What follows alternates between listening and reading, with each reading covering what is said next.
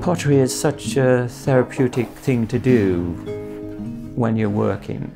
You have to concentrate and you just get into a routine.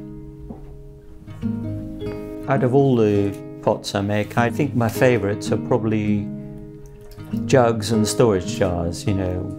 I think the jug in particular is a, a form that you've got to get right.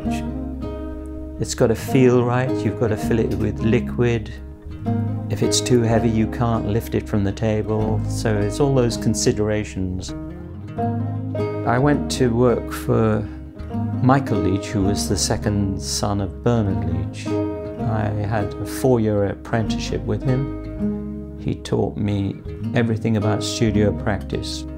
At the tail end of my apprenticeship, I was introduced to Michael Cardew, and I used to help him fire his kiln, and then that was a major another major influence. I don't sign my work. There's no ego there. There's no, I made this sign anywhere. There's an old thing about less is more. When I see a pot in front of me and I cover it with slip, I just can't help touching that slip or making a mark or scratching through it. You know, it's just like something I have to do. Unpacking this kiln has been really exciting because most of the pots were for the exhibition at the Goldmark Gallery.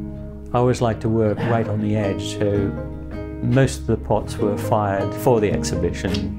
I can never keep things back too far, and so I like to be as fresh as possible and uh, out of the kiln into the gallery.